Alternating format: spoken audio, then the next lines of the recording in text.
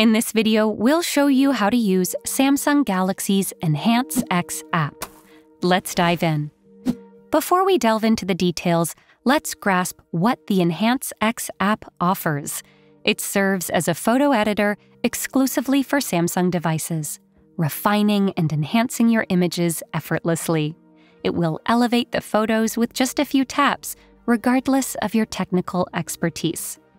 Please note that we've listed the Samsung devices compatible with this app in the description box below. Now, let's explore its functionality.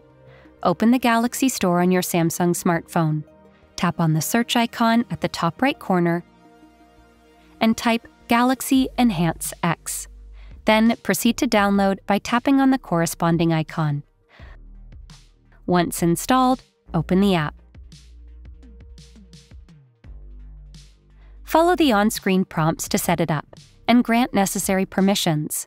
Then, select a picture or video and delve into the available tools, such as Magic, Face, and Portrait. Customize the effect's intensity to your preference. Finally, review the changes and tap on Save at the top right corner to preserve the edited image. Keep in mind that the app retains both the original and enhanced versions. Now that you've mastered using the Enhance X app, don't forget to subscribe to Guiding Tech and delve into one of our specially crafted videos just for you.